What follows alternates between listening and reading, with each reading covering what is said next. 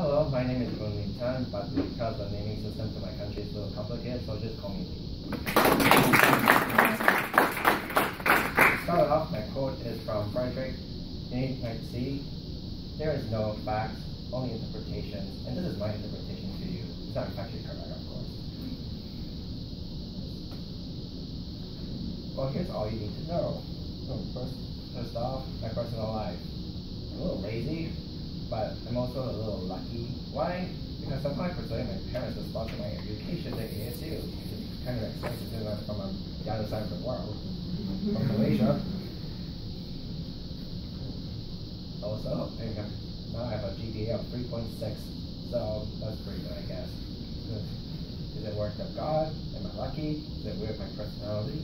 I don't know. My hobbies are watching films, which strangely enough inspired me to start writing a fan fiction which I will never publish. I like watching television, mostly animation, because that's how it inspired me to pick up my major in interior design here at ASU. Hmm, my favorite class, of course, from high school is art. That's how I got here in the first place. But because I needed more money and a good job, I chose interior design instead. Hmm. And for schools in Malaysia, all public schools are a little more different from what you may be used to. The teachers are overly strict, the students are very rebellious, and the services of the schools are much worse than a pitchforks dining hall here at ASU before was ever redesigned. My family is also a little different because my dad's a Buddhist and my mom's a Christian, and they're both overly protective.